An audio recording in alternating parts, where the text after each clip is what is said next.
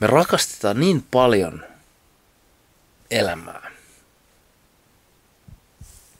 ja toisiamme. Vaikka loppupeleissä kaikki on vaan yhtä, yhtä samaa illuusiota. Mitä ikinä onkaan. Siis elämä on täysin mysteeri. Jos sä kysyt multa, kuka, kuka sinä olet, tai kuka, niin sinä kysyt minulta, kuka sinä olet. Eli mun pitäisi miettiä, kuka minä olen.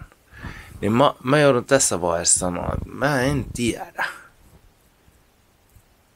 Mä olen osa jotain mysteeriä.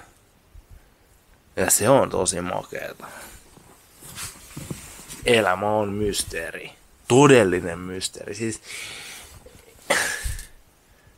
meillä on kaiken näköisiä juttuja täällä näin.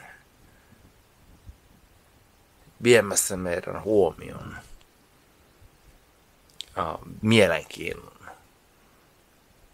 Mutta todellinen mysteeri alkaa siinä vaiheessa, kun sä ymmärrät, mistä elämässä on oikeasti kyse.